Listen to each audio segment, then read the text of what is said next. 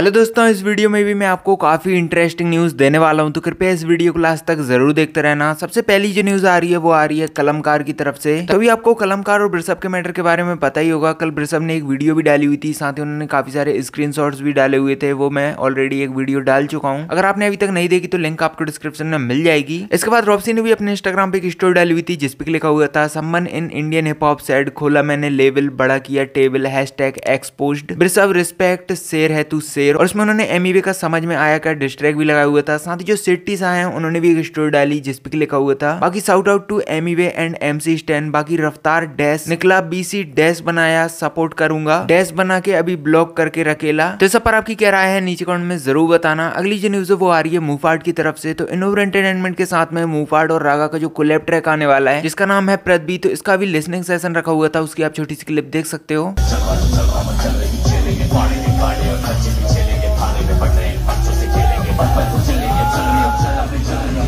और इसमें लोका भी गए हुए थे, आप देख सकते हो, उनके मैनेजर ने भी एक स्टोरी डाली हुई थी, जिसपे लिखा हुआ था बैक इन बिज़नेस लोका. अगली जो न्यूज़ है, वो आ रही है इक्का पाजी की तरफ़ से तो इक्का पाजी ने भी एक स्टोरी डाली हुई थी, जिसपे लिखा हुआ था, मैं एक बहुत बेहतरीन एल्बम बना रहा हूँ। आप सबका प्यार सपोर्ट और ब्लेसिंग चाहिए। अपना best O L G R अगली जो न्यूज़ है, वो आ रही है यो हनी सिंह पाजी की तरफ़ से तो यो पाजी ने भी अपने इंस्टाग्राम पे एक स्टोरी डाली हुई थी, जिसपे लिखा हुआ था next song shoot in L it's a movie अगली जो न्यूज़ है, वो आ रही है कृष्णा की तरफ़ से तो ये तो अभी कोई अपडेट तो नहीं है, पर काफ़ी सारे लोग बात कर रहे थे तो मैंने सोचा आपको भी बता दूँ कृष्णा अभी इंस्टाग्राम पर जो मियाँ खलीफा है उनको फॉलो करने लगे हैं। अगली जो न्यूज़ है वो आ रही है एमसी स्टैन की तरफ़ से। तो सबसे पहले तो एमसी स्टैन का जो सॉन्ग है ब्रोक इज़ अ जोक उसने दो साल कंप्लीट कर लिए साथ ही जो लक्ष्य चौधरी है उनकी एक वीडियो आई हुई है जिसमें की एक जगह पर उन्होंने एमसी स्टैन पर एग्ज़ाम्पल देते हुए क्या कहा हुआ है आप खुद देख सकते हो। देखो कुछ भी कहो लेकिन यूट्यूब पे आधी रात जंगल में स्विमिंग पूल बनाने वाली वीडियो के बाद अगर कोई चीज़ देखने का मज़ा है ना तो वह टीवी एक्टर्स की सोशल मीडिया क्रिएटर्स की फेम से गिलसते हुए देखने में। और फिर उनको वो ना भी कॉमेडी किंग बनते हुए देखने में। इसी के साथ विजय दादा का नया सॉन्ग म्यूज़िक वीडियो के साथ में रिलीज़ हो चुका है, जिसका नाम है दुआ में याद करो। तो इसकी लिंक आपको डिस्क्रिप्शन में मिल जाएगी। इस वीडियो में इतना ही। अगली वीडियो में फिर मिलते हैं। तब तक के लिए बाय बाय